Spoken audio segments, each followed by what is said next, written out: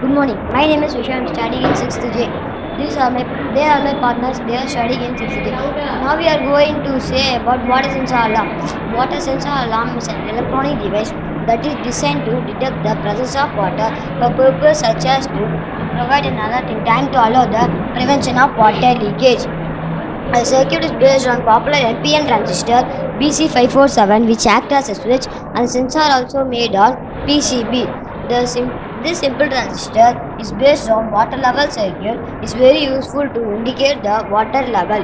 This water level circuit is simple mechanism to detect and indicate the water level. This project is about to save the water. Thank you.